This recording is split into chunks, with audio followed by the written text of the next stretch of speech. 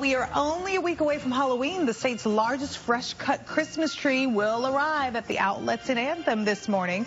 It's been a tradition, as you know, for the past 15 years. And this is video of last year's event. The 80 foot tree will arrive on an enormous flatbed just like this before being hoisted and decorated for the holiday season. We will bring it to you live as soon as it arrives later this morning. And if you don't stop by, you can always see that from the freeway. Yeah. It's beautiful. It's an easier way to do it. You know, I'm really glad the zoo changed the